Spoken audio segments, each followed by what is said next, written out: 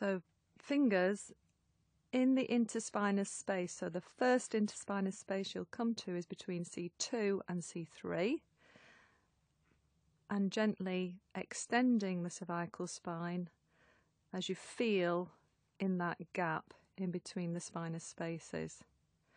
As you can see, you piggyback your fingers to go down the cervical spine and remain, keep one finger in the space above whilst you piggyback down.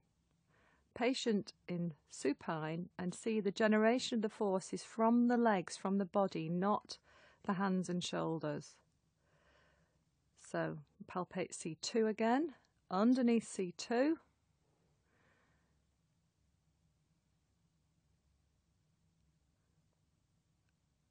And then do an extension movement. You see there's not much movement between each level.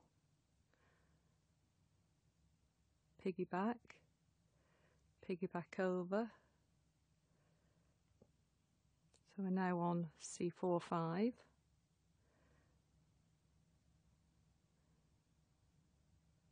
And then piggyback on the other side, C5,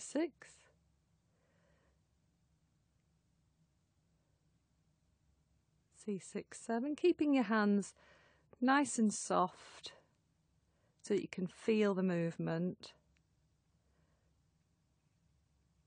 and down into the thoracic area.